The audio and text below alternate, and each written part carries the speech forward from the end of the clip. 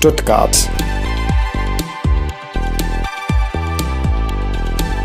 Home of Mercedes and Porsche, arts and culture, and Rosa Note, Stuttgart's gay men's chorus.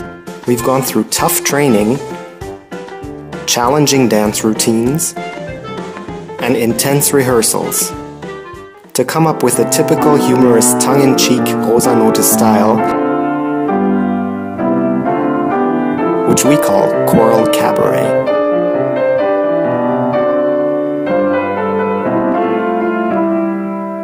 We are very happy to be here at the Various Voices Festival in Dublin and would like to perform for you a selection of songs from our new program Choralverkehr, behind the scenes of a gay men's chorus. And now, please welcome Rosa Note from Stuttgart.